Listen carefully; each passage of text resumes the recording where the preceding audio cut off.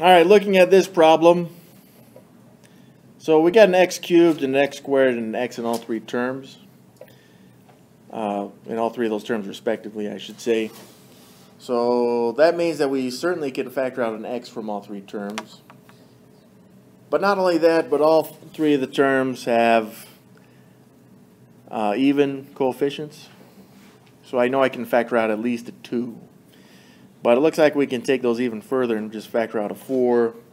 Because 36 is divisible by 4 and so is 80. So that's what I'm going to do to start this problem. Is I'm going to factor out a 4x. And what does that leave me with on the inside of the parentheses? Looks like I would have an x squared plus 36 divided by 4 is 9. And I'd have 1x left over plus 80 divided by 4 is 20. And we got rid of the 1x that was factored out. So no matter how we slice it, we're going to have this 4x no matter what.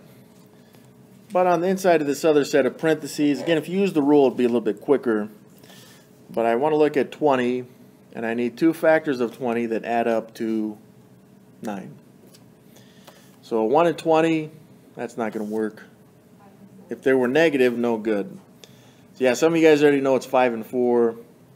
Some of you guys may have tried 2 and 10 first, which wouldn't have worked either.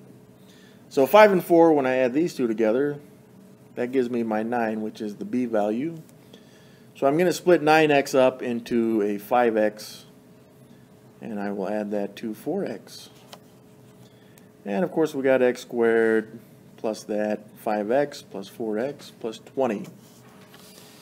I know again if some guys use the rule you're finished by this point, which is okay. But we're looking at factoring by grouping.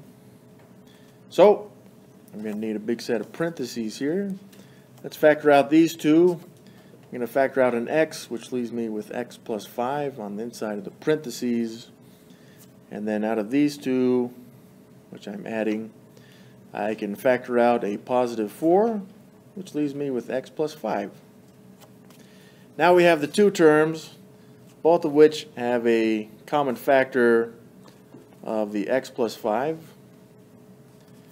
And in the second set of parentheses, we've got the x plus the 4, which was all that remained there. And I don't see any perfect squares or perfect cubes there. So I'm going to call that one good.